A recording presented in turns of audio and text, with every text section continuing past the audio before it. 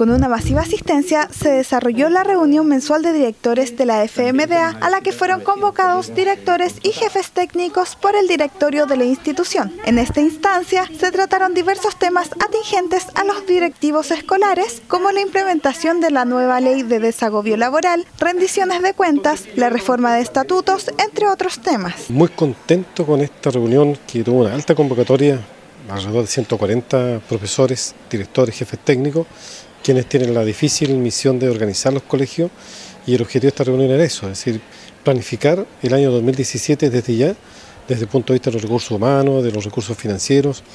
de la parte pedagógica también. Por lo tanto, los temas fueron variados y en fondo fue dar orientaciones para poder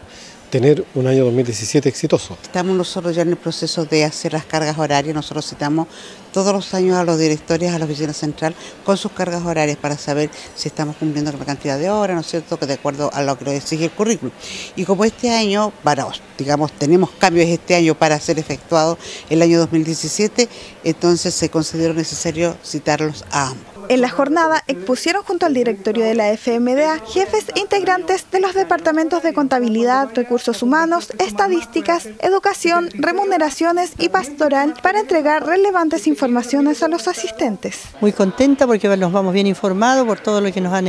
eh, aclarado, hemos recibido las circulares, pero estamos aquí en, en terreno, es mucho más claro lo que nos van informando sobre la parte administrativa, la parte pedagógica, el currículo, las rendiciones de cuentas ha sido todo muy provechoso, también sobre el eh, Mapudungún,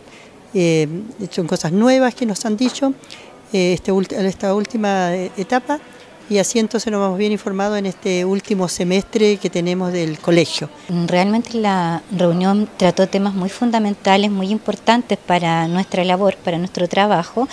eh, los temas puntuales que se trataron son también contingentes con las políticas vigentes que se están viviendo hasta ahora, puesto que tenemos que hacer nuestra distribución de nuestra carga horaria del año 2017 y tener muy clara la función y cómo se va a distribuir para un buen desempeño de la labor docente para una mejor calidad de los aprendizajes. Los más de 140 asistentes a la reunión pudieron dilucidar sus dudas sobre las distintas temáticas abordadas en la reunión, pudiendo llevar así estas nuevas informaciones a sus colegios.